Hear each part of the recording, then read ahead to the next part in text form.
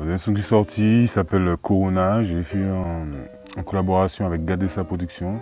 Donc c'est un son évidemment qui parle du virus qui nous atteint tous. Hein. Cet ennemi invisible, hein. se cache derrière les plis bois, c'est pas grave, il est là.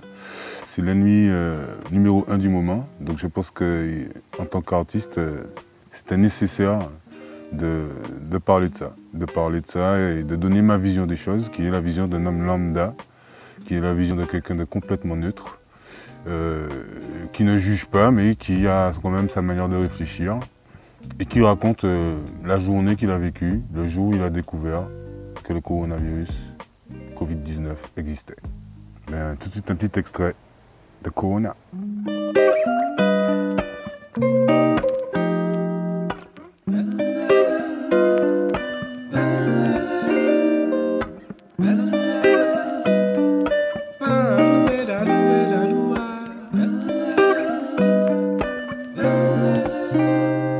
Matin-là, je me lève, la cuillère dans mon café sucré.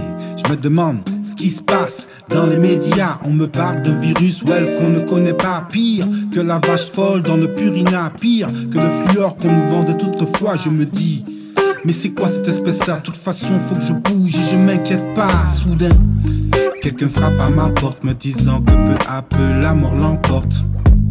Cette fois, c'est pas le sida, non, non qu'il avait des. Je pense que le, message en fait qu'on a à faire passer, c'est simplement qu'aujourd'hui, on est dans une société qui fait que avec cette crise-là, on est censé euh, se replier sur soi-même.